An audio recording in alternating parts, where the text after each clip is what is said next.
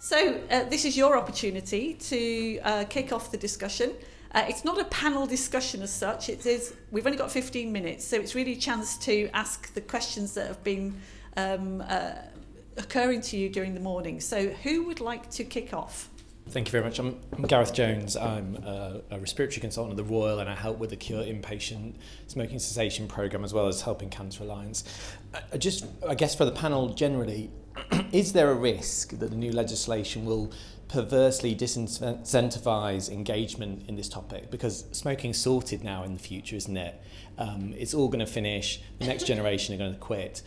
But how, how do we keep momentum um, in smoking cessation and engagement with it? Because if it's kind of everyone's job, it's nobody's really, isn't it? And that's my question. Thank you very much indeed. Good question. So who'd like to go? Um, if you don't mind, I'll go first, just because I remember being told that in 2007. My friends and family said, Well, you can give up and go home now, can't you? And it wasn't true then, and it's not true now. I think what helps is um, that the uh, chief medical officer in particular is very clear that um, the raising the age of sale is going to um, stop the next generation becoming addicted, but that we need to do everything we can to continue to help the 6.4 million smokers in the UK to quit and the extra funding um, for stop smoking services for the mass media campaigns which will raise awareness you know and it, since well the last 10 years we've seen a, a, a total decline in the amount of money spent on that awareness raising and we know that um, that, that young people and young, young adult smokers are really not aware of the risks. That's going to change, so it will enhance that understanding. And the Swap to Stop campaign, you know, all these things are actually going to make a difference. So I'm, I'm optimistic, but you're absolutely right about the dangers. And I, and I was just going to say, I absolutely think we need to be shining a light on the fantastic work our NHS colleagues are doing in the tobacco dependency treatment services and the importance of the NHS long-term plan, but we can't assume that they're going to they're all going to be clinically mainstreamed and I think the more that you can share Gareth the fantastic work I'm assuming I'm sure is happening in your trust it's really really important because the NHS does have a vital role to play so well done thank you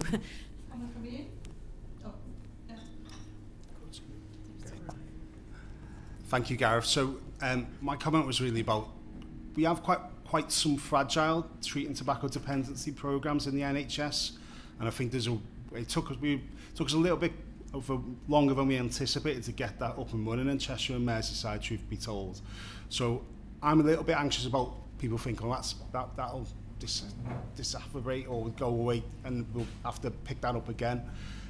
this program is about trying to join some of that up because the, the new thing or the new kid on the block is the fact there is investment going into the community services. Um, one of the things we did with the sector-led improvement was bringing together the commissioners, the providers together, saying, look, we all want the same outcomes here. We don't want you to be in competition for four-week quits or trade-offs. You know, it's, it's about real people going over different geographical uh, boundaries? How do we bolster that together? So I think there's a bit of a different model that we need to look at, um, but it's really important, especially when we get that's funded regionally and nationally. Um, I know you're sitting right next to me, Michelle, but that's, that, that is a challenge. We need to make sure that, that investment continues into those programs, I think. So it's a good question for us to keep focused on. Um, hi, yes, I'm Sinead Clark. I'm an Associate Medical Director with the ICB and I'm a GP. Um, and I think the thing that struck me, um, well, lots of things struck me this morning, but the thing that struck me was around the vaping, that actually a lot of smokers think vaping is as bad for them as smoking. That definitely chimes with what my patients are telling me all the time. And it doesn't seem to matter what I say to them, they don't believe me. Um, so, how do I, you know? Um, and so, my question is how do you think we get the balance between, and I've also got a teenage child, and every single one of his friends, and I'm sure him, has, has tried vaping. Um, so, you know, how do we get the right balance between trying to stop people taking up vaping who don't smoke, but getting smokers to understand it's vastly safer? um, and can really help them quit. Thanks. Thank you. Thank you, Sinead. Who'd like to kick off with that one? um, I mean, I'll kick off. I, uh, absolutely. Um, I couldn't agree more that there is a, a tough call, and I think some of it might be learning as we go a little bit. I think, you know, vapes are quite new. Um, so, uh, uh you know, the, the, the, the introduction of the powers um, we might have to kind of look at how that is working. Um, because you, you're absolutely right, everything that we hear as well is that I think we've either it, the messages aren't getting through or we've almost overshot because of the focus on children which is a really important um, focus but we're almost kind of disin, disinvest um, disincentivizing our our smokers where you know we really do need to to focus on that i think also you know some of that insight work that that we talked about that we can do collectively may may help with some of that um, but I do think you know there, there is work to do there, and, and you know some of it might be kind of learning as we go along and learning from other other places as well. Thank you, Louise. think it's about as well how we interact with our communities and having distinct messages going to distinct places so that the people that are smoking probably won't be picking up in the messages in the same places that children. So maybe using schools and um, other other such things. So I think we can we can do the two, um, but I can see the challenges there where maybe you've got a parent who smokes and a child comes and says, "Oh, vaping's awful. I'm never going to be doing that," and then the the, the smoker is thinking, "Oh, well, I want to." start vaping so I can give up smoking. So I think we'll have to be fleet of foot, but really, really targeted in, in our communities about where those messages go. Um, Ash started monitoring youth use in 2013 because once vaping started taking off amongst adults in 2010, it was obvious that um, it was likely to become a problem, and it was our early data that sort of highlighted the growth. So we've always been concerned about it. But actually, what we see is that during the time when youth vaping went up, so did per perceptions of risk. Because let's be honest, teenagers and young adults are not risk averse It's older smokers who are risk averse and who also are so addicted that they're looking for excuses to carry on smoking. So that's why our focus is on getting the tobacco and vape, vapes bill passed so that with the vaping measures there, we can get rid of the bright coloured packaging, the, the cartoon characters, the names like Unicorn Shake, all of that sort of stuff. We know from tobacco that those sorts of regulations, the plain packs, the, the, the control of displays, all of that will make a difference with youth, whereas risk perceptions aren't necessarily, whereas what they are doing is they're going in such a bad direction that they are worrying adult smokers. So I think that's, that's my message, and I think we do need to do more on, on um, in schools, and we've been working with Sheffield City Council in particular, developing materials. But we've got to tell children the truth, and, and the sort of thing you see in the media is, is just completely inaccurate. And, you know, I think that's another important thing, is we've got to tell children what the evidence shows um, not the sort of hysterical coverage that's being given, because it's not actually stopping children from experimenting, um, but it is stopping adults who otherwise might use vaping to quit. Mm -hmm. Thank you. And, and just to, to reinforce that, in terms of the evidence base, I think it's pretty clear on vaping now, and we're very fortunate that OHID, PHE previously has you know, commissioned a number of hugely systematic evidence reviews, and quite often I think some of the questions I'm asked in forums would be answered if people did go back and, and look at that. And there's, you know, there's been a huge amount of research in that respect. I think for me as well is is is if we are going to be, we, it's very important that we we advocate for clear policy measures to reduce the appeal to young people but I also think it's important that we're robust in terms of data a number of times I've been told all young people are vaping the data does not stack up for that and I think we all have a responsibility of knowing what the data actually tells us so if you are in a local authority and you are doing a, a school behaviour survey I, I would really strongly advocate that you have consistent messages use the same messages and questions that Ash do in there so we can compare apples with apples. is you know, there's a lot of confusion out there, and I do think that the more in the public domain there is a sense of all young people are vaping as a youth. What is that take-home message? And just lastly, wearing my balance hat. Um, alcohol is a known class one carcinogen. The alcohol industry are directly targeting marketing, gorgeous packaging to young people, but I haven't seen the same level of concern around that. And I do think it's really important that we view you know, in the ideal world, young people wouldn't risk take on anything, would they? But we're not living in the ideal world. um, so I, I, I do worry sometimes this is this takes away from some of the really important areas. And I'm not at all dismissing youth vaping as an issue, but there's nothing more heartbreaking to me than a smoker saying,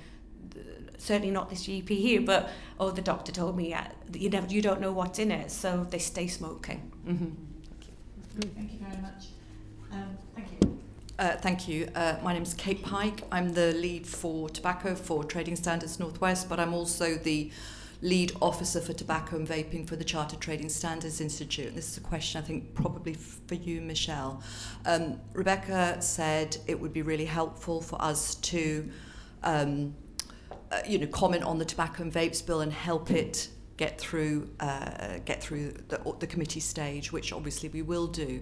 Um, it was really interesting um, the second reading last week. How many speakers said, "Oh, but it can't be enforced. It can't be enforced." Uh, speakers who, who don't enforce when the actual enforcement body is incredibly supportive of the change in age of sale.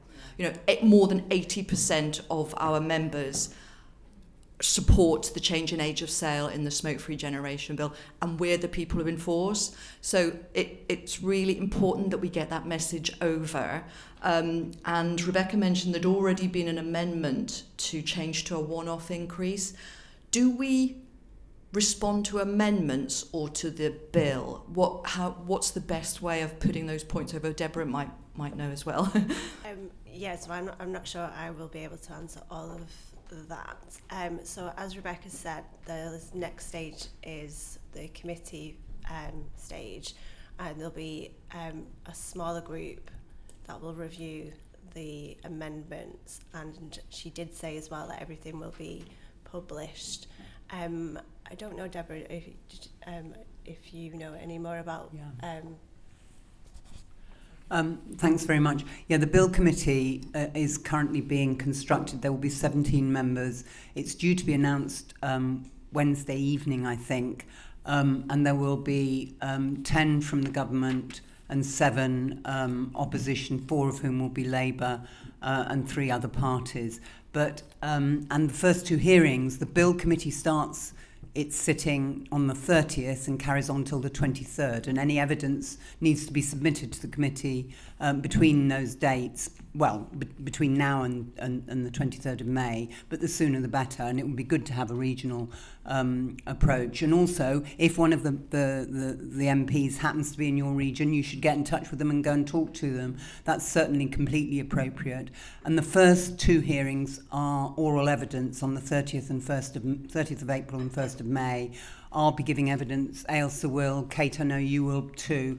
And we can address um, not just the bill, but also how the bill relates to other legislation going through, for example, the DEFRA ban on disposables or the um, vaping tax uh, currently being consulted on. We can address um, amendments that are being made and why, you know, for example, we would support the government's proposal as opposed to just limiting it to 21, which is very much a tobacco industry preference. Um, you know, all those things can be addressed, but um, and what will happen is they will hear the oral evidence, and then their next sessions between then and the 23rd of May will be addressing the bill line by line and discussing amendments and discussing, you know, any loopholes in the, the legislation, for example, and you know, the Chartered Trading Standards Institute and UCAT are ideally placed to point those sorts of things out, um, in order that the bill can then uh, the government can take on board all of those comments and will then either accept or not amendments and amendments can then be relayed. They won't be voted on in committee stage. They will be voted on at what's called report and third reading, uh, which is likely to happen in early um, uh, to mid-June after the Whitson recess.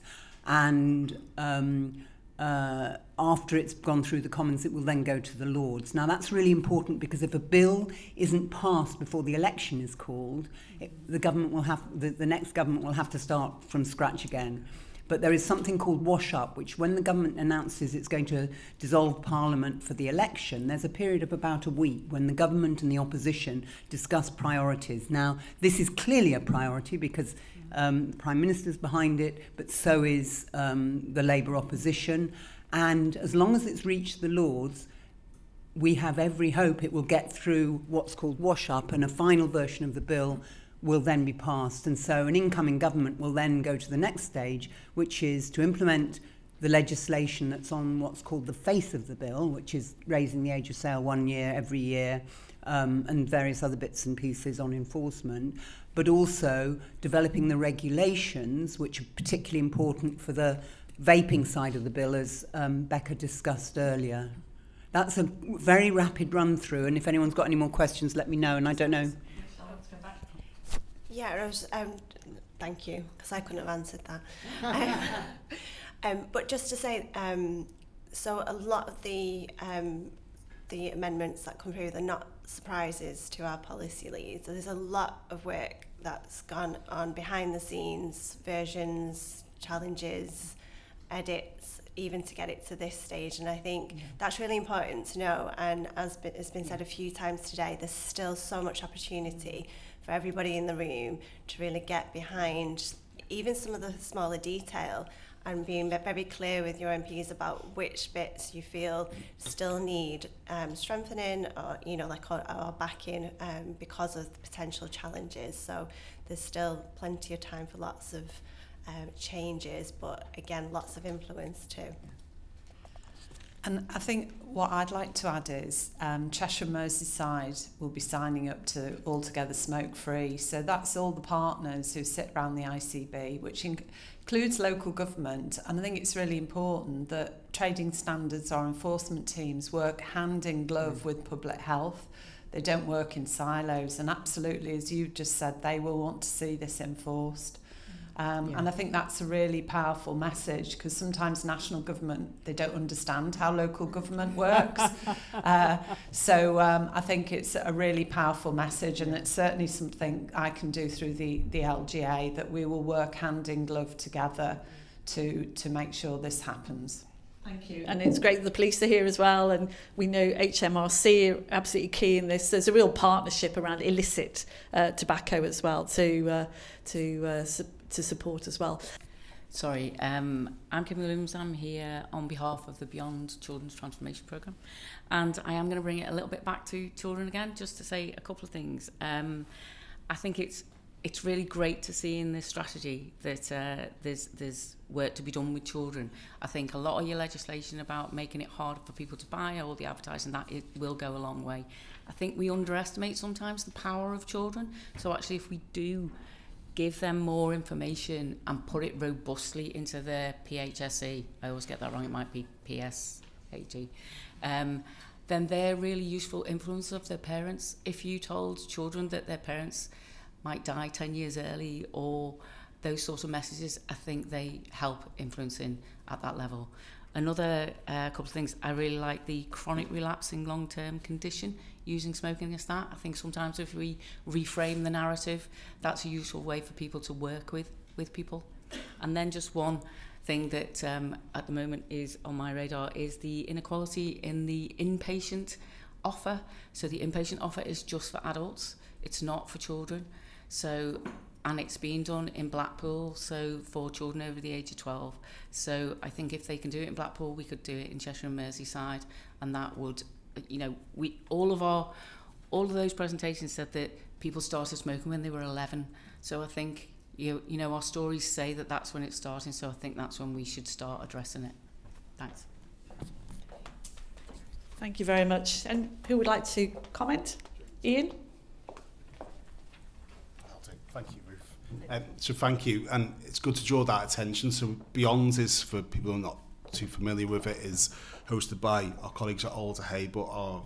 uh, very much focused the multi-agency programme for improving the outcomes for children and young people in Cheshire and Merseyside. And one of the programmes that you work on is some of the, uh, the in, in the schools work as well, isn't it? The Brief Easy programmes, awareness raising about vaping and how can we scale some of that up, which is really important. And um, so, so we not haven't been on a stand and start on, on some of that. Um, also really grateful um, to Andrew because we've engaged with our young people as part of uh, the work that the Directors of Public Health have done to get that voice in um, when they've been advocating for the bill and I think they went down together in um, the help, they did, didn't they? So the more we can do about that, the great. Um, we also have Raji, the Chair of the ICB, but also Chair of our Children and Young People's Committee. So I think there's some quite nice synergies between the healthcare partnership, the work of Beyond, and this agenda really. So thank you for the suggestions, and hopefully you can see we're going to try and weave that in more. The more we can do on it.